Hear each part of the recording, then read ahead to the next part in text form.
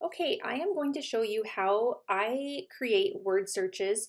Uh, this is a great idea for the first day of school. You can put all your student names into a word search so that they feel like part of the classroom community as soon as they arrive on the first day. So to do this, first of all, go into PowerPoint. Um, I should mention too, I know that there's some programs online that you can use to make word searches, and there's probably other ways. I'm just going to show you how I personally do it. So if you go into PowerPoint, you're going to um, probably be given a slide something like this. First thing I do is get rid of that. And then if you go to design, slide size, page setup, just going to do letter paper so that it fits. And we want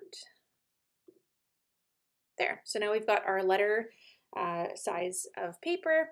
Okay, I'm going to go to insert a table.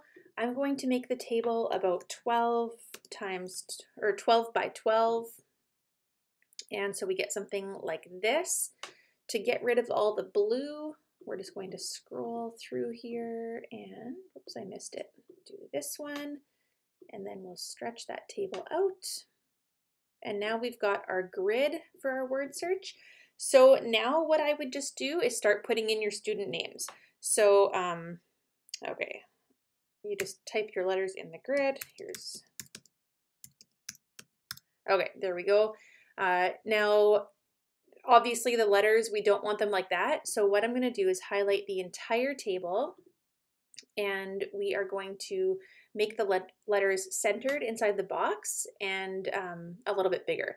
So let's go about 20 for a font size. We could probably go a little bit bigger actually. Okay, that's 22. And now what we're going to do is center the letters using that one and um, align them to the middle of the box. So that'll just put them right in the center of the box. So now you just go ahead and um, add all your student names. So we're just going to go through and type them and uh, put them backwards and diagonal and however you want them. And then what you'll do after is just fill in all the other boxes with random letters. So yeah, obviously I'm not going to do the, whoops, that's not what I want to do. Hmm, I was pressing the wrong button. So yeah, I'm not going to do the entire thing obviously, but that is how you can do it. And then you will just um, add your words to find down at the bottom. The way that you do that is just add a text box. And so I can now just type the words that I want students to find. And what I can just do is add a few text boxes or I can copy and paste this one and then just put some other names in here. And that's how you can create a word search. I'm not going to go through the entire process because that would take a long time, but uh, but that's this is one way.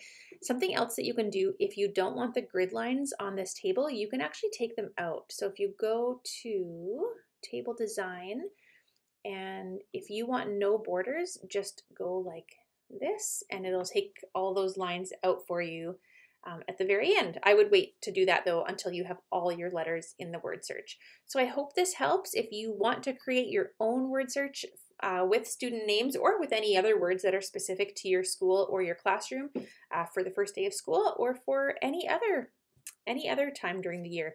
All right, thanks so much. Have a good day.